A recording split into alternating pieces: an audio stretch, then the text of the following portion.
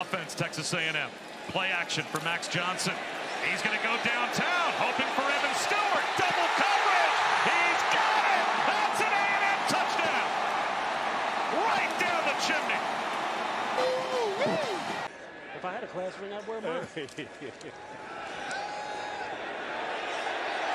Wide open, touchdown! Evan Stewart. A strike to Smith. Some pressure coming. Johnson throws it up, has a man pass caught. Evan Stewart.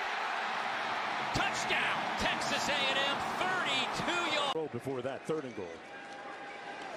Weigman right back at it. Touchdown this time. They make the connection. Stewart.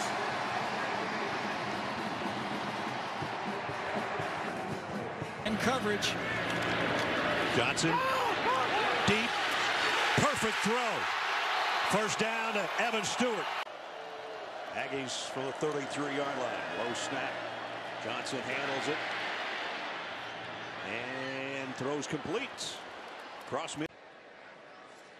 Hitting home runs offensively, though, for the Aggies here so far. Completes another pass. This one is Stewart. Still on his feet into Lobo territory at the 46. The 23 second. Third and 11.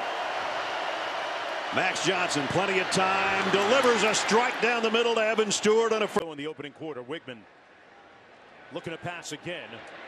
Complete. What a move by Stewart. And he got ripped. They put it on the ground. The Aggies look like they've got it back. Smith was there. It was ripped.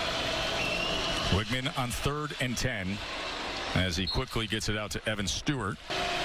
Here's that corner cat blitz as he nearly lost his footing, but somehow got it to Stewart as Stewart's inside the 20 and brings it down to the 10-yard line. The execution and fundamentals you just can't have. Maybe that's why Amari Daniels subbed into the game. Over the middle, what a catch by Evan Stewart. Some mid-air pyrotechnics. Johnson got rid of it, and they convert, and a hit on the sidelines at the 35-yard line on Evan Stewart. Lower leg, but he's back in there. Weigman after the penalty. He's going to take a shot right away.